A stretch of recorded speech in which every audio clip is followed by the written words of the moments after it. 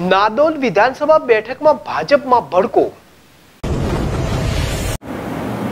આજે સવારે હરસિદ્ધિ માતાના મંદિરે હર્ષદભાઈ વસાવાએ દર્શન કરી તેમના સમર્થકો સાથે મોટી રેલી કાઢી. પ્રાંત કચેરીએ અપક્ષ ઉમેદવારી કરવા રેલી કાઢી હતી, જે લોક આકર્ષણનું કેન્દ્ર બની હતી.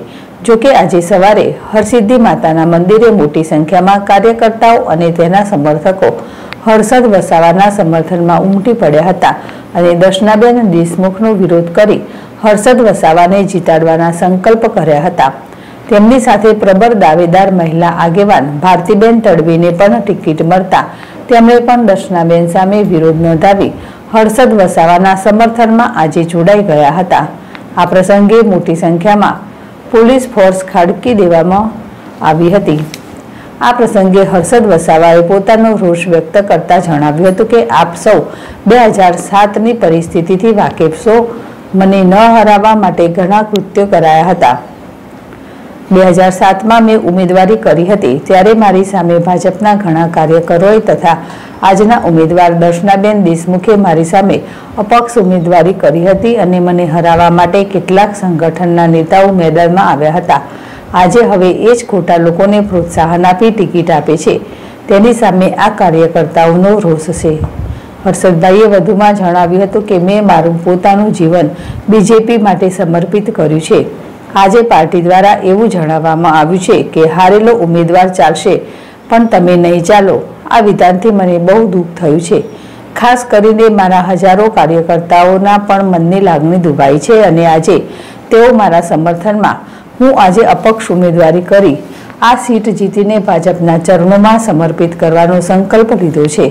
ત્યારે હું મારા કાર્યકર્તાઓની લાગણી અને તેમની માંગણીને માન આપીને આજે હું હરસિદ્ધિ માતાના દર્શન કરી માતાજીના આશીર્વાદ લઈને અપક્ષ ઉમેદવારીનું ફોર્મ ભર્યું છે. ભલે મને કમલનું નિશાન ન મળે, પણ મને જે નિશાન મળશે, એ નિશાન પર હું ચૂંટણી લડીશ અને જીતીશ. અને આ બેઠક હું ભાજપના ચરણોમાં જ સમર્પિત કરીશ. મને ખબર છે કે ભારતીય જનતા પાર્ટી ગુજરાતમાં જીતવાની છે. બહુમતી સાથે હું ભાજપની સાથે છું. કદાચ બહુમતી નહીં બને અને મારા સપોર્ટની જરૂર પડશે, તો પણ હું ભાજપને સપોર્ટ આપીશ અને અન્ય કોઈ પાર્ટીને સપોર્ટ નહીં આપીશ. એની પણ હું ખાતરી આપું છું. વધુમાં હર્ષદભાઈએ જણાવ્યું હતું કે સત્તા મારા માટે નથી. હું પાર્ટીથી મોટો નથી. બે હજાર બારમાં મેં જતું કર્યું અત્યાર સુધી બે વખત. બીજી વાર કોઈ જીત્યો નથી. મારા ઘણા વિરોધી હતા, છતાં પણ મારા કાર્યકર્તાઓ મને જીતાડ્યો. બે હજાર બારમાં કાર્યકરો નારાજ હતા. બે હજાર સત્તરમાં પણ એનું પુનરાવર્તન થયું હતું. છતાં પાર્ટીનું માન રાખીને મેં જતું કર્યું. હવે આ વખતે ફરીથી પુનરાવર્તન નહીં ચલાવી લેવાય. આજે નવા નવા લોકો કોંગ્રેસના, બીટીપીના લોકો ભાજપમાં આવી રહ્યા છે અને બીજેપીના ખતમ કરવાની વાત કરી રહ્યા છે. એ નહીં ચલાવી લેવાય. વધુમાં તેમણે રોષ વ્યક્ત કરતા એમ પણ જણાવ્યું હતું કે જ્યારે હું એકતાનગર કેવડિયા ખાતે એકત્રીસ મે નરેન્દ્રભાઈ મોદી આવ્યા હતા અને કાર્યકરને બોલાવ્યા હતા, ત્યારે હું પ્રદેશ પ્રમુખ હતો. છતાં લિસ્ટમાં મારું નામ ન હતું મારા સારા કિરણનું પણ નામ ન હતું એવા લોકોનું નામ હતું, જેમને કોઈ ઓળખતું પણ નથી. ખોટા લોકોને પ્રોત્સાહન આપીને ભાજપ પોતાનું સંગઠન નબળું બનાવે છે. ભાજપનું સંગઠન નબળું ન થાય તે માટે હું અપક્ષ ઉમેદવારી કરીને ભાજપનું સંગઠન મજબૂત બનાવવા માંગુ છું. હું સો ટકા જીતવાનું છું. આ મારી બેઠક નરેન્દ્ર મોદીના ચરણોમાં હું અર્પિત કરીશ. બે હજાર ચોવીસની લોકસભામાં પણ મારો સહકાર ભાજપને જ રહેશે. અમે પાર્ટીના વિરોધી નથી, પણ જે લોકો પાર્ટીને ગેરમાર્ગે દોરી રહ્યા તેનો અમારો વિરોધ છે.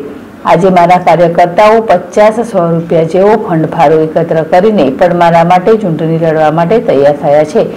એનાથી હું મજબૂત બને છું અને હર્ષદભાઈ વિજય બનશે એવો સંકલ્પ કર્યો છે. ત્યારે હું કહેવા માગું છું કે આ ઓરિજિનલ ભારતીય જનતા પાર્ટી છે. ડુપ્લિકેટ ભાજપ નથી. આ બેઠક હું પચાસથી સાઠ હજારની લીડથી જીતવાનું છું. જીતેલી બેઠક હું ભાજપને સમર્પિત કરીશ એમ હર્ષદભાઈએ જણાવ્યું હતું. દીપક જગતાપ જેડેશ ટીવી રાજપીપળા.